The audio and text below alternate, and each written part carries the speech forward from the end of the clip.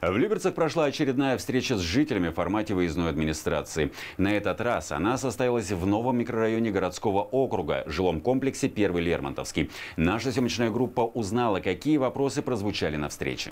У нас вопрос по поводу начисления пени, чтобы нам объяснили, как начисляются пени и откуда они вообще взялись. Вопросы, связанные с ЖКХ, как всегда, в списке самых актуальных. В осенний период большая часть обращений посвящена уборке придомовых территорий, проезжих частей от веток и листвы.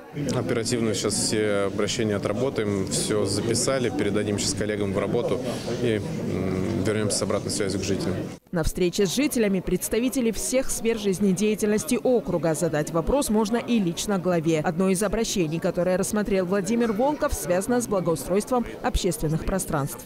Но территория города – это общественная территория. Это территория не лично вот людей, которые там, решили в этом месте организовать какое-то свое общество. Территория должна пользоваться всеми жильцами. Никаких заборов быть не должно.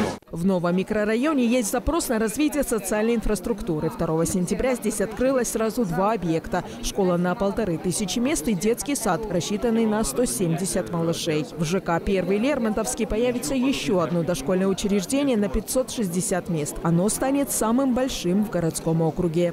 Луиза Игиазарян, Петр Пономаренко, телеканал ЛТВ.